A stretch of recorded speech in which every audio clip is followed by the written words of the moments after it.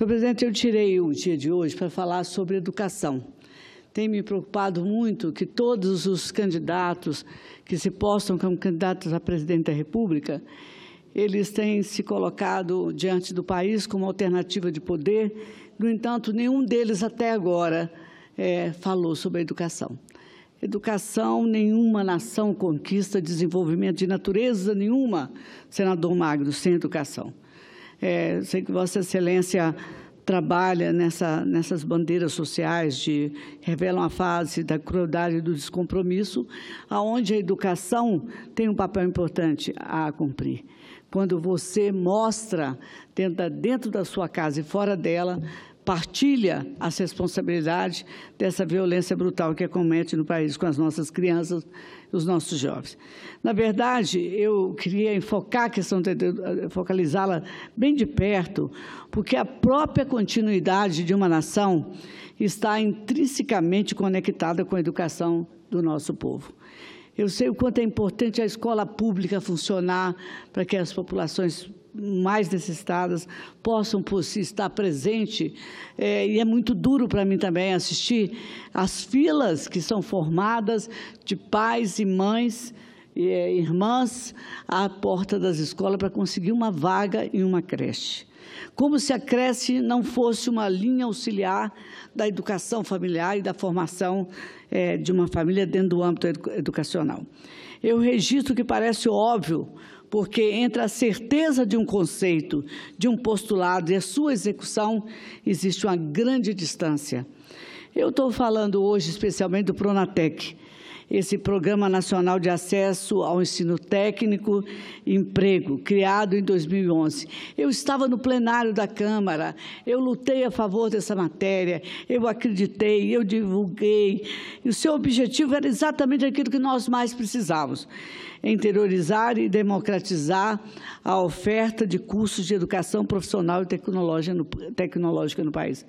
Uma das demandas colocadas pelo mercado de trabalho, de que faltavam técnicos. O seu alvo foi exatamente isso, essa capacidade é, de qualificar a mão de obra brasileira, ampliar oportunidades educacionais e de formação profissional qualificada aos jovens trabalhadores e beneficiários de programa de transferência de renda.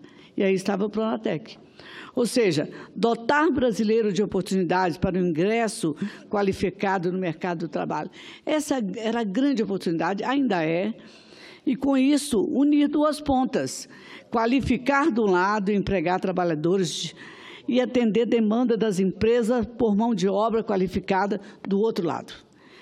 Trata-se de um programa, um belo programa. Eu fui militante, me postei ao lado, mereceu o apoio dessas, das nossas casas, mas, ao mesmo tempo, e aí eu vou me reportar ao trabalho de um senador que é, é Roberto Muniz, que compareceu às comissões falando sobre o tema, que é necessário né, lançar um programa, mas avaliar, avaliar com muito cuidado seus resultados que em algumas áreas tem deixado a desejar. É, diante desse tema de grande relevância, a Comissão de Educação, Cultura e Esporte do Senado, CAS, tem promovido esses debates que envolvem a Pronatec. Eu quero que a Pronatec continue, que aperfeiçoe. Esses debates são muito importantes. Nessas reuniões, eu tive a oportunidade de ouvir, é, senhor presidente, a explanação do senador Roberto Muniz, atendendo à Resolução 44 de 2003, o próprio senador expôs extenso e detalhado relatório de avaliação da política pública. Antes de mais nada, eu quero, parabenizando o senador pela iniciativa, pela eh, qualidade e profundidade do seu trabalho, são 101 páginas que apresentam o panorama completo do programa, seguido de um quadro de grandes sugestões. Criticar só não valeria a pena se não tivesse no bojo dessas, é, dessas atitudes uma proposta ou várias propostas que visam aperfeiçoar esse programa. E eu quero até registrar que, de acordo com o relatório de 2011 a 2016, foram investidos 38,5 bilhões nas cinco iniciativas que compõem o programa. O Brasil profissionalizado, né, a ETEX, a expansão da rede federal, o Bolsa Formação e o acordo de gratuidade pelo gigantismo do programa, pela importância dele, talvez seus resultados, que nós proclamamos várias vezes, tenham ficado aquém do esperado e aquém da necessidade do país sobre a expectativa de qualidade desse programa que deveria atender a educação é, é, profissional e de capacitação. Eu queria é, também citar que o diagnóstico do relatório do senador passa por um comparativo com o cenário internacional. Quando nós falamos de educação, é importante que a gente fale de educação de A a Z. Né? A página 11 do relatório que é feito pelo senador Roberto traz um quadro que indica que a proporção de alunos do ensino médio com integração à educação profissional, o Brasil não está bem nessa fotografia. Não está. A proporção da Alemanha, por exemplo, citar quadros comparativos, é 47,8% de Portugal, 46%, é, por cento, a média da União Europeia é de 48%. Na distante Turquia, que a gente nem cita aqui né, na nossa casa, 46,4%. No Chile, nosso vizinho latino-americano aqui do lado, 42,2%. E o Brasil? No Brasil, a proporção é de 9,3%. Como é que nós podemos estar aqui defendendo que o país tenha que fazer investimento para o seu desenvolvimento, cobrando que o país saia dessa crise para alavancar ser uma mola propulsora do avanço das políticas sociais, se nós não estamos nos dedicando à educação? O levantamento do relator Roberto Muniz, ele aponta que, apesar do Pronatec, nosso problema crônico de qualificação de mão de obra não evoluiu quase nada. De acordo com a CNI, Confederação Nacional da Indústria, em 2011, 69% das empresas continuavam enfrentando dificuldades para contratar mão de obra qualificada. Essa realidade, escreveu o senador, pouco se alterou ao longo do tempo. Mais adiante, nas suas considerações, ele faz outra observação interessante, que indica o pobre cenário da profissionalização do Brasil. Nossa produtividade é baixa, aponta o relator. E isso decorre, em boa medida, por conta da formação deficitária do trabalhador brasileiro. Nós sabemos que entre aquele profissional no ramo de engenharia tem o técnico que está ali, de eletricidade, hidráulico, e esses profissionais precisam se qualificar para estar dentro de uma cadeia produtiva de empregos. E isso nós não podemos, de jeito nenhum, passar despercebido. Vamos dar um curso Pronatec ali, que vai ser bom. Mas qual curso? Que, que o mercado está demandando? Qual é a mão de obra que é necessária? Vai ter emprego ou só dá um diploma e a pessoa fica todo dia olhando, olha, eu sou técnico aqui formado pelo Pronatec. Onde está a oportunidade de emprego? Onde ele pode aperfeiçoar mais para que ele possa mais na frente enfrentar o cenário da disputa dentro do mercado do trabalho, de uma profissionalização realmente capacitada à altura das exigências do mercado brasileiro. Eu vi muitas situações que vários trabalhadores estrangeiros vieram com essa mão de técnica ofertar ao Brasil a sua qualificação, porque nós estávamos aquém ao programa que demandava mão de obra para atender o mercado que estava exigindo. Nossa produtividade é baixa, diz o relator. Isso decorre dessa falta de qualificação adequada do trabalhador brasileiro. Eu, na atuação do meu mandato aqui, eu já levei muitos cursos para o Espírito Santo. Fui a maior incentivadora do Pronatec no Estado do Espírito Santo. Briguei, brigo, para que mais verbas sejam investidas na educação. Só hoje já é a segunda vez que eu enfoco essa necessidade, mostro a importância. Mas o que falta no Pronatec? Né? Tem, para que tenha efetividade, para que tenha, é, consiga o êxito fundamental, fundamental, são necessários alguns preceitos e, ao mesmo tempo, fundamentos e elementos. Né? Coisa elementar que a gente pode tratar aqui a qualquer momento. E, por certo, quando você fala do do, da reforma do ensino médio, você está procurando, é, vamos dizer, aperfeiçoar a oportunidade, porque tinha uma ditadura do ensino, né? É, você tinha que fazer o ginasial, que é, é o primeiro grau, e fazer o segundo grau, que era o científico. Não era assim? Hoje você tem um interregno que você pode pegar o ensino, é, o tal do científico, o segundo grau correspondente, você pode ali se qualificar na escola técnica e, e sobretudo, poder fazer um vestibular em seguida coisa que você não podia fazer. Imagina que você tinha que estudar tudo aquilo que você não tinha afinidade e depois ainda disputar uma universidade para fazer um curso que você não, é, praticamente não se preparou para ele. Portanto, você chegava lá para ser um engenheiro, um, um engenheiro de, é, por exemplo, da área de, de técnica elétrica, um engenheiro na área de elétrica, e você nem sequer conhecimento teve sobre isso no seu curso anterior, e isso, essa reforma do ensino médio produziu um efeito estupendo. É preciso estudo de mercado no Brasil, é preciso capacidade gerencial, é preciso entender da gestão educacional, é preciso saber qual a demanda do mercado para atender na medida da necessidade de vagas. Isso, lamentavelmente, é a falta de foco que todos os governos tiveram e têm. E falta de método para avaliar, oferecer esses números, esses estudos, para que aqueles que forem fazer um programa é, na área educacional possam se valer desses métodos, dessa avaliação, para acertar na construção das oportunidades de ensino para que esse mercado tenha o profissional que se faz necessário no setor produtivo. Eu valho aqui mais uma vez das palavras do senador Roberto Muniz, que no seu diagnóstico ele escreveu uma coisa interessante. É gritante a ausência de indicadores sólidos de desempenho atrelados ao estabelecimento de um foco muito mais preciso e de uma pontaria certeira. Do que ele fala, afinal? Ele fala: olha só, se lá no Espírito Santo nós temos uma característica nossa, inclusive no setor da agricultura, somos um Estado extremamente é, com, é, forte, com altos índices de produção no setor agrícola. Nós temos Santa Maria de Jetibá, recebemos aqui professores de lá, inclusive, é o segundo maior produtor de ovos do país. Né? Maior produtor de chuchu.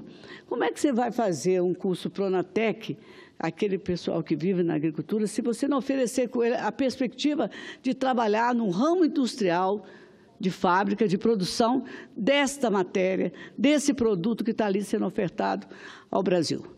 É, nós somos o segundo maior produtor de café, nós somos o maior exportador de granito, como é que você pode olhar para a região que produz granito e não saber que você tem que levar para lá cursos técnicos que possam oferecer essa mão de obra capacitada a estar nesse nicho de trabalho? Então, eu me valho aqui é, dessa, dessa avaliação do senador Roberto Muniz, que não é possível avaliar um programa se não dispusermos de informações adequadas. E quem faz esse estudo? Quem oferece esses dados? E sem avaliação, como vamos saber se os resultados daqueles cursos ofertados, pretendidos, serão alcançados na hora de ofertá-los ao mercado de trabalho? No Espírito Santo, eu registro, é muito comum, era muito comum isso, eu várias vezes questionei e contei com a, a percepção do ex-reitor do IFES, é, professor Dene, e agora do reitor Jadir Pella, da capacidade da gente analisar determinadas regiões, ver onde a demanda por mão de obra está e que mão de obra essa era essa. E também observar outras áreas, para que quando você fizesse os cursos Pronatec que foram ministrados muitas vezes pelo IFES, você estivesse acertando naquele naquela escolha dos cursos que seriam colocados para, para... Você não pode mandar para... Eu citei na época a questão de Piuma, que tem um teatro e precisava de dois cenógrafos. No entanto, foram ofertadas 50 vagas de cenógrafos em Piuma. Então, essa falta de análise, de referência de informações e dados, tem consequências trágicas para se gastar tanto dinheiro no Pronatec tão importante para a capacitação e formação de mão de obra, que eu acho que não podemos nos dar o direito de errar. Enquanto isso, eu quero dizer que no setor elétrico que eu citei aqui, que poderia estar sendo administrado em cheio com a oferta de cursos dessa natureza, carece de mão de obra. E aí, quando vêm os estrangeiros para o Brasil, a gente diz, olha, está ocupando o lugar de um brasileiro, mas um brasileiro que poderia ter sido capacitado para estar ali naquele local. É, nós temos várias empresas no Estado do Espírito Santo, nesse ramo, onde é muito difícil encontrar uma, conseguir uma vaga. Outro exemplo onde temos uma dificuldade imensa são os soldadores. E eu me lembro até incentivando, presidente, já estou concluindo, não vou abusar de Vossa Excelência. Vossa Excelência tem o tempo que achar conveniente pela paciência e pela orientação do senador Magno Malta.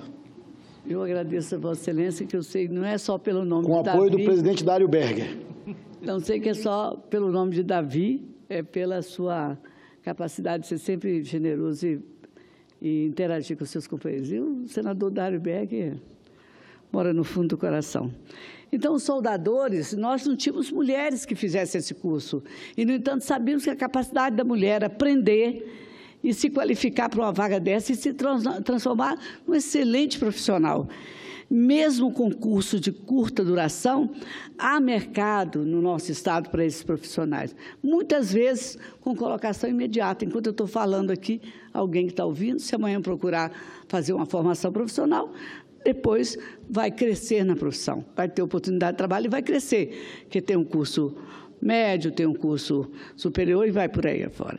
Quer dizer, essa falta de estudo, essa falta de percepção, no meu entendimento, é a questão da sensibilidade de quem constrói o programa tem que ter um olhar muito específico para essa demanda, conhecer o mercado, conhecer, sobretudo, as regiões, as suas características de produção. Os filhos dos Pronatex estão espalhados pelo Brasil inteiro, é, com um pedaço de papel na mão, dizendo o que eu disse aqui, que eles são capacitados para tal área, para tal coisa, quando o mercado não tem condição de abrigar essa formação profissional. Isso é um erro, é desperdício de dinheiro público, poderia ser melhor aproveitado. Esses equívocos, que eu, essas distorções que eu coloquei aqui, é resultado de uma coisa que o Brasil padece. E eu falo isso para o senador Dário Berg, que esse país padece de uma coisa muito clara, que é a falta de planejamento a falta de planejamento, a visão da gestão pública das coisas, das propostas que se traz com programas que nós batemos palma. Quem não bateu palma para a Pronatec? Quem não teve nos seus estados Pronatec? Gastamos 38 bilhões e tantos. Está aqui o nosso é, querido senador Roberto Diniz, Muniz, nós estamos falando sobre o seu trabalho. E estamos falando desses eh, filhos do Pronatec que estão espalhados pelo Brasil, refletindo aqui, trazendo ao conhecimento do povo brasileiro a sua reflexão valiosa, porque foi muito dinheiro e foi um grande desperdício em muitas áreas, não todas, né, daquilo que se fez com a melhor intenção do mundo. É, quando, na verdade, se aplicado devidamente, com estudo de mercado, capacitado tecnicamente para fazer essa oferta, nós teríamos uma outra realidade. Né? mas que está em tempo de ser corrigida. Então, quando o mercado não tem condição de abrigar essa formação é, profissional, nós podemos dizer com tranquilidade, perdemos o dinheiro. Tomamos o tempo de alguém, criamos uma ilusão e é um desvario é um desvario. Esses grandes equívocos citados por Vossa Excelência, essas grandes distorções, a falta de planejamento, o Brasil tem tantos recursos utilizados em determinado momento que, quando nós vamos atrás do resultado dessa aplicação, nós surpreendemos. Houve um erro de foco, de direção, de diretriz, de planejamento, de gestão, e o Brasil reclama que hoje não pode colocar um dinheiro para completar um monte de creches que estão espalhadas pelo país inacabadas. Então, está é, tá claro que a capacidade orçamentária nós temos. Está é, tá claro que a intenção foi pegar quem precisa da oportunidade de trabalho e capacitá-lo. Mas por que não antecede isso um, um estudo? Né? Que, que diga, olha só, na região do norte do Espírito Santo, é, lá tem canavial, lá tem é, é, mármore, granito, lá tem café, lá tem mamão, lá tem É, lá nós temos uma grande confecção né, de vestuário. Todo esse mercado está latejando, assim, querendo crescer. E quando se tem tanto recurso para ajudar nesse crescimento, não pode ser sem foco, sem gestão e sem planejamento. Infelizmente, eu digo isso todo dia, não sei se compreendo profundamente esse assunto, senador Davi, presidente da sessão, mas é o retrato fiel do Brasil em muitas questões que nós podemos abordar aqui, para mostrar que os erros que nós cometemos, até mesmo a segurança pública que nós estamos aqui socorrendo, o presidente colocando com muita, muita responsabilidade uma intervenção no Rio, até mesmo quando se cria um, um, Ministério de Segurança, onde foi que a gente errou lá atrás mesmo? Aonde foi que a gente deixou de entender que isso estava crescendo diante dos nossos olhos? Isso é que acontece com a má aplicação dos recursos públicos. E também, não vou deixar de citar, a ingerência política. Né? No, no, no, caso do Pronatec, isso não houve. O Brasil cria um programa, mas não se preocupa com a essência do programa. O objetivo do Pronatec está claro, mas o planejamento não está claro. Não está claro. A questão gerencial não determina, não qualifica e não olha para a questão do mercado. E isso é um erro que nós não podemos, estamos incentivando a continuidade do programa, deixar que isso aconteça. Isso me leva, então, a pensar que se esse recurso fosse aplicado em outras escolas, e até construindo mais escolas, que nós precisamos tanto, é, pagando melhor os professores, que é outro erro clássico desse país, e nós estamos tentando corrigir, é, talvez o resultado fosse outro. Nós estamos assistindo à falência das escolas públicas que não tinham esses recursos, senador Roberto do Pronatec. Podia planejar melhor e o resultado ser excelente, como também podia redistribuir. Então, eu ressalto que há um equívoco quando se fala em gratuidade. Nunca esse curso foi grátis. Ele saiu do orçamento, ele foi pago a alguém para ministrar. Nós tivemos várias instituições que ministraram o curso do Pronatec. Não houve gratuidade para quem ministrou os cursos, pelo contrário, foram muito bem pagos. Portanto, não poderíamos jamais permitir o equívoco que se deu sem a fiscalização, inclusive, do próprio parlamento. Teve quem recebia o curso, por exemplo, é, achava que ele, olha, eu tenho um curso de graça do Protec. Não. Para quem recebeu o convênio e recebia bem, ministrava curso, muitas vezes, profundamente desnecessário àquele segmento é, produtivo. Então, o Sistema S para todo mundo ofertou gratuitamente, o governo pagou por isso. O governo pagou todos, nós pagamos, e foi muito bem pago. O debate na Casa, a partir do relatório do senador que está aqui no plenário, Roberto Muniz, foi assim, estimulante de suscitar esse debate aqui da tribuna dessa Casa. Não sei se a gente consegue corrigir todos os rumos da política brasileira, sobre todos os ângulos, mas eu acho que é muito bom que a gente possa ser estimulado a um debate e que a gente tenha consequência positiva a partir dessa provocação e basta a gente saber que temos capacidade de constatar de que muitas distorções levaram ao desperdício do dinheiro público e, portanto, precisa dessa correção. Eu deixo claro, senhor presidente, concluindo, que temos que cuidar da formação e dar continuidade ao Pronatec mas eu vou insistir sobre a luz do relatório do senador Roberto, com objetivos mais claros, mais definidos, com foco, formar para quê, para quem, qual o mercado que estará abrigando esses profissionais, a demanda para que os alunos se, os alunos se formarem, quantos alunos, qual a perspectiva de aproveitamento, se tem demanda, vamos construir a oferta, nada mais razoável do que isso. Mas se para isso é preciso planejamento, então vamos planejar, vamos colocar foco, vamos ter método e não fazer de conta que nós não estamos percebendo os erros, inúmeros erros que foram cometidos num programa espetacular, importante, mas que pode muito bem é, atender a demanda colocada pelo mercado e, sobretudo, auxiliar as populações mais carentes para ter uma oportunidade de se qualificar e disputar uma vaga no mercado. Então, eu quero que esse debate da CAS e, senador, eu homenageio dizendo que todas as pessoas estivessem no parlamento, se dedicassem a aprofundar num tema e, portanto, consequentemente, num programa dessa natureza, eu tenho certeza que esse plano até e outras coisas seriam mais aprimoradas e nós teríamos uma correção de muitas falhas do que acontece no gerenciamento da política social brasileira, principalmente nessa área tão importante para o desenvolvimento que é a questão educacional. É, se o presidente me permitir, eu posso, presidente, se eu permite? Se eu permite? Claro. É, considero a parte aqui a pessoa que eu mais citei hoje aqui nessa casa. Positivamente. Senadora, é, quero, quero dizer que essa noite é um dos dias mais felizes da minha vida aqui no Senado, porque muitas vezes a gente tem muito volume de trabalho e muitas vezes a gente não recebe um retorno do trabalho que a gente faz. Eu quero primeiro agradecer a senhora por me permitir ter avaliado o trabalho que não fiz sozinho.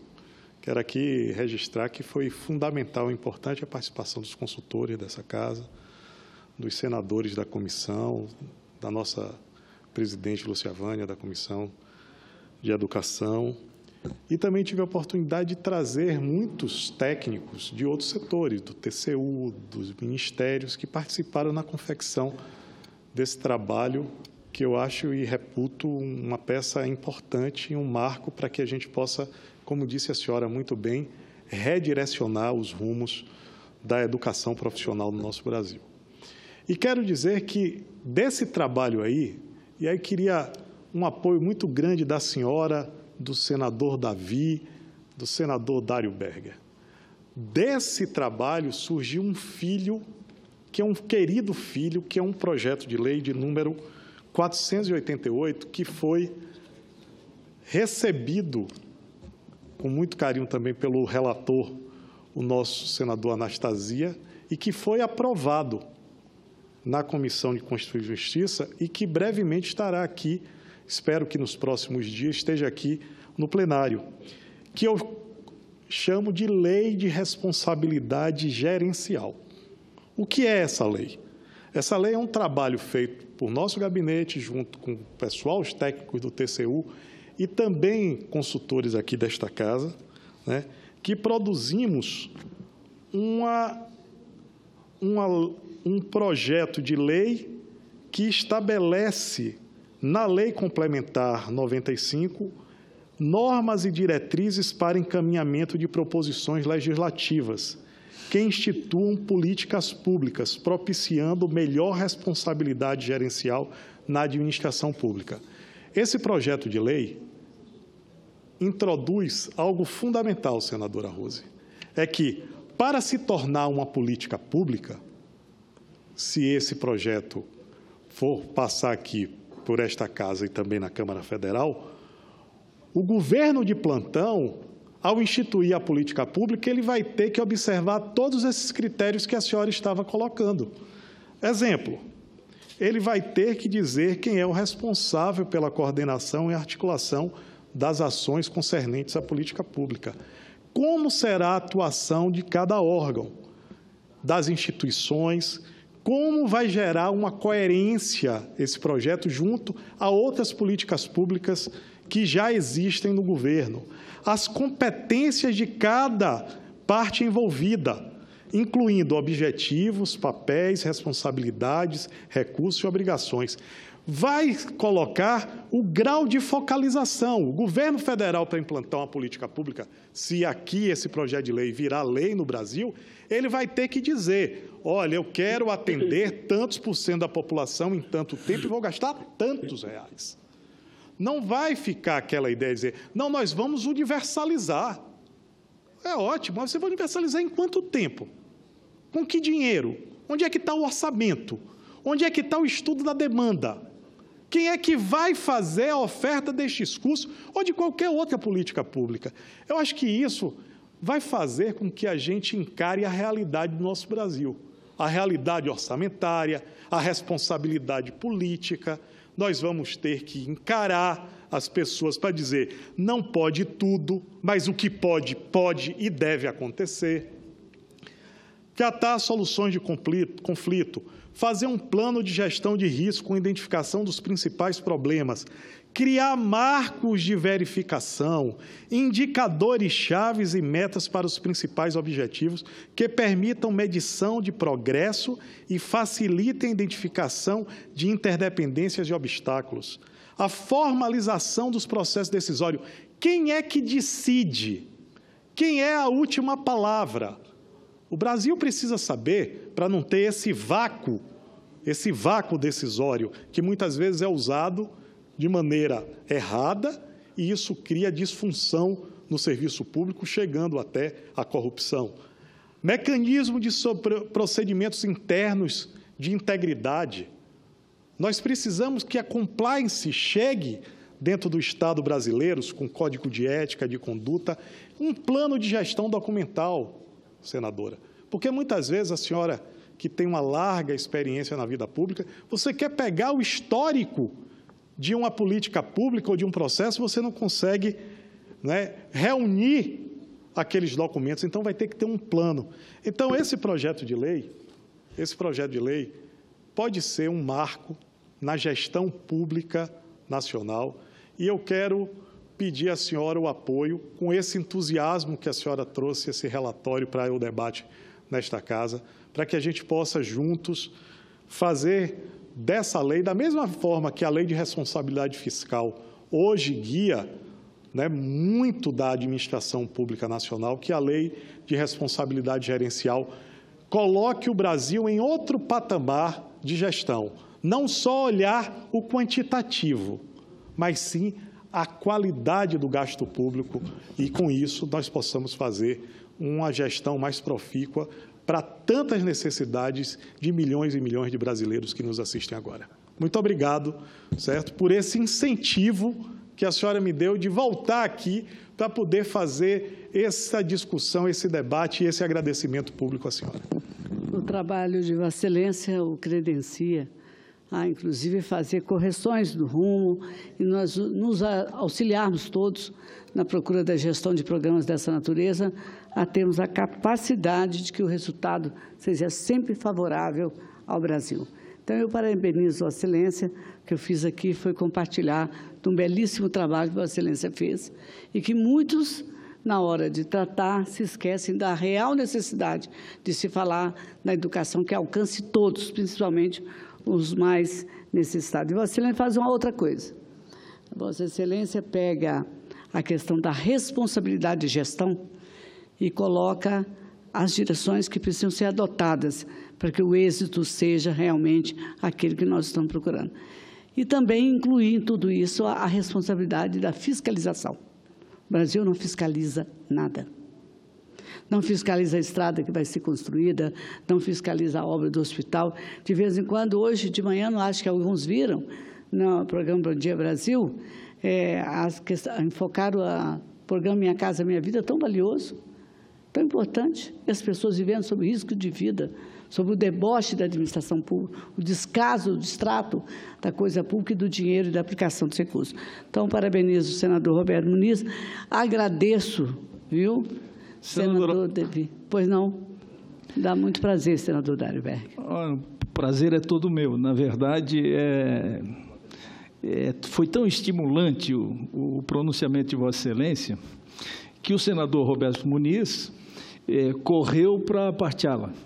Inclusive é, agora, com o, no, com o, novo status físico do senador Roberto Muniz. É, inclusive com. Conseguiu nesse recesso. New Wave, está com um novo Isso. visual e tal, está mais jovem. E é um grande amigo que nós conquistamos aqui durante um longo período com destacada atuação aqui no Senado Federal. Bem, mas além de estimulante o discurso de Vossa Excelência, o pronunciamento de Vossa Excelência, é, me parece também brilhante, como sempre, e oportuno.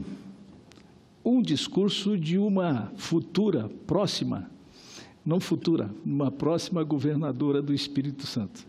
E olha que ser governadora do Espírito Santo, ser senadora do Espírito Santo, é diferente de nós, assim, entendeu? É, eu sou de Santa, então Santa Catarina. Não vou entrar no outro mérito, mas Espírito Santo, Santa Catarina, tem uma grande relação. Bem, é, na verdade, senadora Rose de Freitas, querida amiga, correligionária e tal, é, nós temos muitos problemas no Brasil, né? A grande verdade é essa. Um dos grandes problemas que nós temos é que nós atuamos só no presente, nós não atuamos para o futuro. Nós não temos um plano de desenvolvimento regional, nós não temos um planejamento estratégico é, para fomentar é, o desenvolvimento industrial, é, o desenvolvimento agropecuário, é, enfim, é, nós nós estamos apagando sempre o, o, incêndio sem saber qual é o rumo. Eu pergunto para Vossa Excelência, pergunto para os senadores assim: é, qual é o nosso rumo? Aonde que nós estamos pretendendo chegar? Se não é só através do improviso, através de um presidencialismo de coalizão, onde nós temos 30 partidos e, porque temos 30 partidos, nós temos que ter no mínimo 30 ministérios, sem o qual nós não conseguimos governar. Olha só a que ponto nós chegamos. E todos nós temos esse diagnóstico e nós não conseguimos corrigir isso. Então eu penso que nós chegamos ao fim de um ciclo. É esse que nós estamos vivendo, ele mofou, ele ruiu, ele se exauriu, ele acabou. Só que nós não estamos conseguindo construir um novo ciclo que precisa ser construído. E esse novo ciclo é preciso, é preciso ter é, consciência de nacionalismo, de um Brasil verdadeiro, entendeu? Onde, onde nós possamos dar valores àquilo que precisa ser dado de valor efetivo. E eu não estou falando só do parlamento, não. Eu estou falando dos outros poderes todos e da própria sociedade, que a revolução ética e moral que nós tanto cobramos de nós mesmos, dos políticos e dos nossos dirigentes, começa em cada um de nós. Começa na nossa casa, começa na escola, começa na universidade, começa no centro de saúde, começa na segurança pública, sem os quais nós não vamos construir um país que nós efetivamente desejamos. Então, eu queria só, é, concluindo, é, Vossa Excelência também tocou em várias questões, foi um, um, um pronunciamento, é, evidentemente, que voltado ao Pronatec, mas discutiu a questão do planejamento estratégico, é, o país do futuro, é, a questão da segurança pública, e a questão da segurança pública agora é o que está na ponta da língua, é o que está nas primeiras páginas. Só que nós estamos enfrentando as consequências do que nós já sabíamos que ia acontecer. O que nós temos que analisar é por que, que nós chegamos, como Vossa Excelência mesmo falou aí, e eu quero é, corroborar com o que Vossa Excelência falou, de que nós não estamos nos atentando para as causas que efetivamente aumentou substancialmente a violência. E eu posso dizer para Vossa Excelência, na minha humilde opinião, quais são as causas. Primeiro, a marginalização da sociedade, a desestruturação da família, o desemprego, a falta de oportunidade. Tudo isso está levando à ampliação da violência. Eu vou dar até um exemplo simplista, senador Davi e senador Roberto senadora Rose. É, nós hoje temos 12 milhões de desempregados, mais, sei lá, é, 5, 6, 7 milhões de subempregados. E temos 90 milhões de brasileiros que ganham um salário mínimo. Então, na verdade, é um Brasil desigual é um Brasil com graves diferenças sociais. Essas diferenças sociais refletem exatamente em questões de segurança pública, como nós estamos vendo hoje. Então, vou dizer para a senhora o seguinte: é, eu tenho um filho de 19 anos. Ele precisa entrar no mercado de trabalho.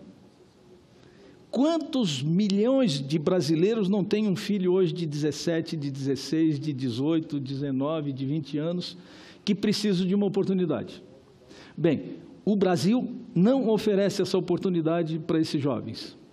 Para onde que eles têm de ir?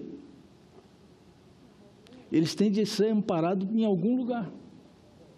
Muitas vezes é na droga, na marginalização, na violência, e daí ou vai preso ou vai para o cemitério. É o que realmente está acontecendo no Brasil de hoje. Então, se nós não combatermos, através de um planejamento estratégico, as desigualdades sociais, as diferenças sociais, onde seis empresários do Brasil têm a renda de 100 milhões de brasileiros, nós não vamos ver nenhuma solução com nenhuma intervenção, porque a verdadeira intervenção está no amparo à comunidade que mais precisa, que hoje está abandonada e que nós precisamos nos atentar para esse grave problema que precisa ser enfrentado. Então, que o Brasil precisa ser reformado? Precisa. Que precisa é, ser revolucionado? Precisa. Eu tenho dito isso e tenho cansado de dizer, é, mas eu também quero dizer a Vossa Excelência aqui, é, eu sou um homem desiludido da política. E olha que eu tenho 20 26, vou fazer quase 30 anos de política. Nunca perdi nenhuma eleição. Ganhei todas as eleições das quais participei. E enfrentei gente grande e poderosa. E por onde passei, graças a Deus, fiz a minha parte e procurei fazer bem feita. Certamente por isso que estou aqui hoje na casa legislativa mais alta do país. Mas, ao mesmo tempo, é, ao invés de eu ter entusiasmo por essa atividade, eu me decepcionei com ela. Eu perdi, eu perdi, eu me desiludi com a política, na verdade. Eu preciso, eu preciso ter de novo um ânimo. Tanto é que eu não aceito nem discutir ser candidato é, nas próximas eleições que se avizinham aí. É, exatamente por essas questões todas que eu acabei de abordar e que Vossa Excelência é a protagonista desse debate. Eu queria pedir desculpa por me adiantar aqui, por é, abusar do tempo, mas eu queria fazer esse desabafo, sobretudo porque Vossa Excelência sabe da minha estima que tenho é, e da minha esperança que o povo do Espírito Santo possa reconhecer na senhora é, aquilo que eu já reconheço, aquilo que o Senado já reconhece, e lhe dá uma grande consagradora vitória é, nas próximas eleições, uma vez que é desejo da senhora é, ser candidata e ser governadora do seu Estado. Presidente, o senhor vai me pedir fazer uma observação que eu acabei de ouvir. Uma pessoa que é um patrimônio político dessa casa. Eu vou discordar dele numa coisa, porque, na verdade, assim, é, a classe política em si, ela não oferece estímulo pela maioria das conduções que a gente vê e das condições criadas para se viver dentro dessa, dessa, desse mundo, dessa atividade parlamentar. Mas Vossa Excelência disse o contrário, disse com seu cérebro e não disse com seu coração. Se eu fui capaz dessa tribuna falando em torno do trabalho de uma pessoa brilhante como o senador Roberto. Despertar em Vossa Excelência essas palavras, eu não sou psicólogo. Eu despertei em Vossa Excelência o sentimento que o faz revitalizar a sua disposição de luta. Se não, Vossa Excelência, ó, mais uma falácia, vou embora para casa.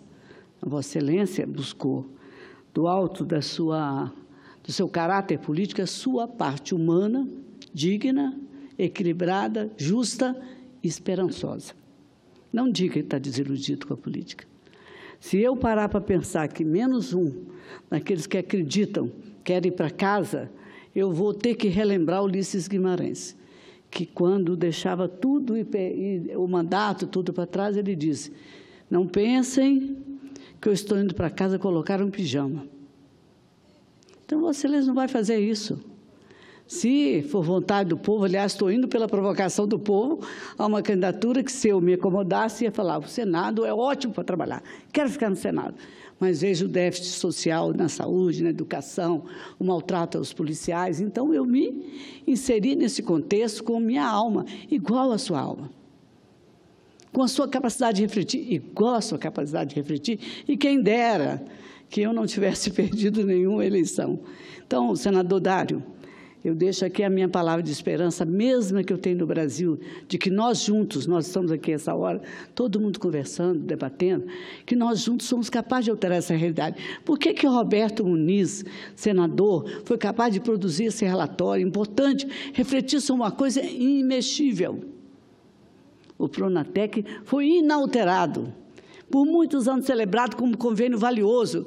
Registro aqui a presença do nosso querido deputado federal, Evair, brilhante deputado do meu estado, do meu estado. Então, eu digo que Vossa Excelência disse o que somente pedia que lhe dissesse um raciocínio mais pragmático, mais embriagado pela chamada desilusão. Sabe que na minha vida eu nunca me desiludi? Porque eu sempre deito agradecendo a Deus pelo dia que me deu e acordo dizendo que mais um dia eu estou de pé para lutar. Vossa Excelência não vai nos deixar sozinhos nessa luta. Pode ter certeza que Vossa Excelência falou o que sua mente queria, mas nega o que seu coração quer. Continuar lutando pelo povo do seu Estado, pelo povo do Brasil. Muito obrigada a todos.